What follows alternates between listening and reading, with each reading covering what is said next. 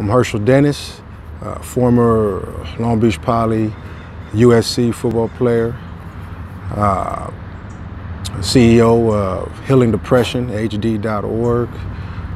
Uh, so it's a program that I'm implementing in uh, high schools, junior high schools, and just helping these young athletes uh, kind of figure out who they are as a person, uh, make them mindful of, of depression, make them, you know, just kind of pre- prepare them for the obstacles that they're going to face throughout their athletic journey. Doing the Can I be vulnerable? Can I Be Vulnerable? Because I'm a, I'm a big, a- big advocate of self-care, and I think being vulnerable and uh, being able to express uh, how you're feeling or what you're going through is, is, a, is a healing component that you need, you know, in your life as you grow into the person or the man or woman that you're going to become. So uh, it's one, one, one of the biggest reasons that, that I want to that I want to do it.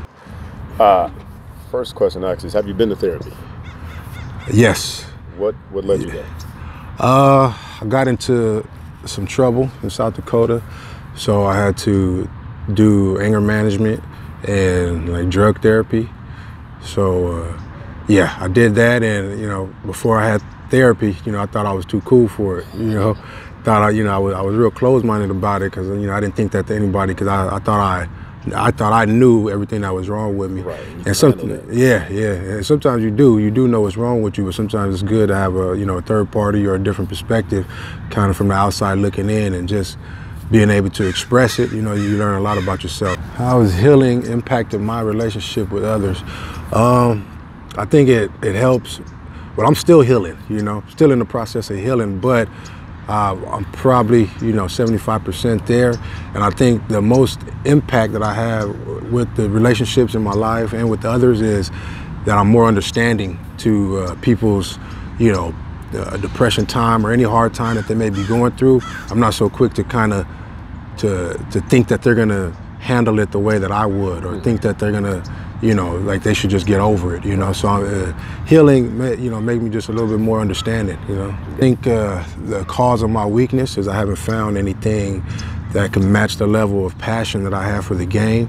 So, uh, and that's football, and I think that I think that's uh, the problem that I have. I think that's what's causing my weakness is uh, not finding something that could you know, drive me the same way that work is hard, you know, as, I, as I work to, you know, be a great football player. What motivates you? Um, results, you know, like seeing seeing something come good from the, the small sacrifices that I make. Like, you know, I could say, you know, cliche, my kids, but even, you know, e- even, you know, like that, not my kids don't even motivate me to, Yeah. you know, as, as much as it like as it should, you know, Right. because I always like 'cause that's something that you know that, that you're supposed to Do, have, yeah. and Like, supposed got to do. I'm supposed to take care of. Yeah, but but I think I think what motivated what I've what I've noticed now is uh, just just seeing seeing good results, seeing you know the the information that I relay, seeing that it, that it's helping, you know. So yeah, that motivates me to continue. Uh, what scares me, to be honest, is not uh, not not living up to my full potential.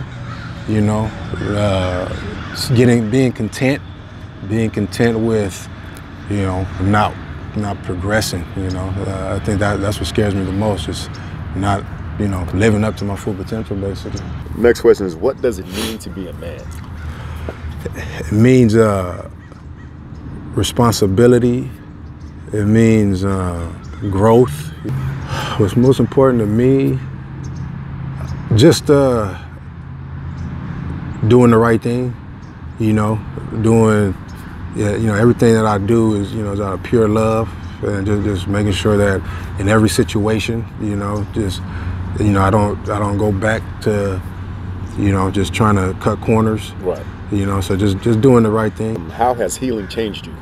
I'm not trying to to figure everything out. You know, I'm allowing, I'm processing it and, and understanding that there's there's steps to uh, uh, fixing things. You know, it's not just going to happen overnight. So, and yeah, being healed, you you know, you can you understand that healing is the best medicine for happiness. Growth is life.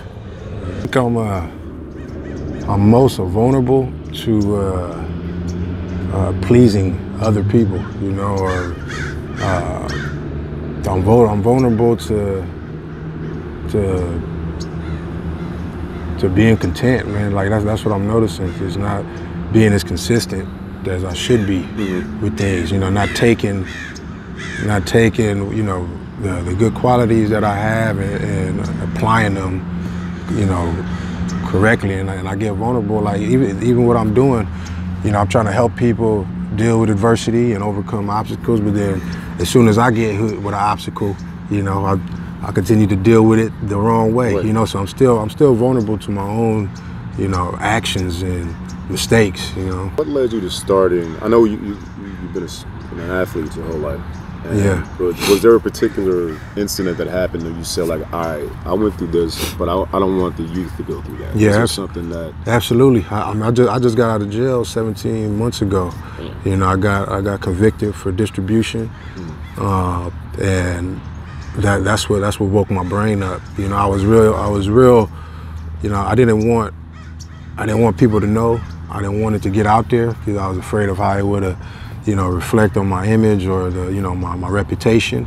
But uh, when I was when I was sitting in there and I was talking to my brother, and he and he said he let one of the homies know, and one of the homies went and made me a made a H Fund Me account, HD Fund Me account, you know, yeah, GoFundMe account, and blasted it. And everybody knew about it. You know, my, my brother was real upset about it, but right at that moment when he told me that, I was like, this this is part of being accountable. You know, being accountable for the mistake that I made. You know, it's not something I could hide from, and it's actually opportunity that we could that we could use to to help the you know to help the youth in, our city where you know where I come from because I'm not the only athlete guarantee I ain't the only athlete that's going to go back from you know not playing ball anymore and then going to you know trying to sell drugs and you know do things that you you know that you grow up knowing you know Yeah. So uh, so I, wanted to use you know my negative misfortune and and let kids know you know I, I have a big name in the in the Long Beach area and I just I wanted to. I wanted to just let you know kids know that people you know people gonna make mistakes. Right. You're gonna make a mistake. It's about uh, being accountable about it uh, for it and and just taking responsibility from, from your actions. You know, and not trying to hide from them. Because when you do that, you're just going to continue. it's- it's- You're going to continue to snowball Cycle, yeah. in the, in the wrong direction. So, as soon as you, you you take it on, you take responsibility for your actions. You admit to them. You know, uh, that, that's that's one of the, the the best ways to heal. You know, and I wanted to use uh, what I did, what you know, my mistake, and just basically uh, put it out there and, and let people know that you know you can change, you can learn from your mistakes, and uh, you know you could be living one way, and stuff could drive you to, to another way, but you can always get back on the on the right road. So uh, that, that that's what happened to me, man. That's why I wanted to kind of start the the healing depression, the the men's program. Uh, and basically just just letting kids letting people know man it's, it's okay to make a mistake Right. you know just to just be, take responsibility for it Right. Uh, life after football. How was that? it was rough. It, it, was, it was rough. It, it was rough because I didn't know, you know, I didn't know who I was as a person. You know, football. That's football identified me. You know, as a person. So when you get your identity taken away, you you're, you're, lost. You're lost because you spent so many years of your life uh, investing in, into this into this one program. Right. You know that you forget to basically invest into yourself as a person. You know, that I have, I have, you know, I have many talents. You know, I have many talents, but on, uh, I shied away from them or I blocked them out to focus on this one talent. Right. And then when you do that for you know 19 years of your life, you know, then bam, then, then now now you're you're hit with life. You're hit as an adult. You're, you're hit. You're, you're just you're just set behind. You know, if you, and if you don't know how to translate all the good qualities that you learn from the game into life or into something else, then it's, it's, it's going to be rough. And so, yeah, life after sports for me was rough until I figured out, you know, who I was and what, what my purpose was on this earth.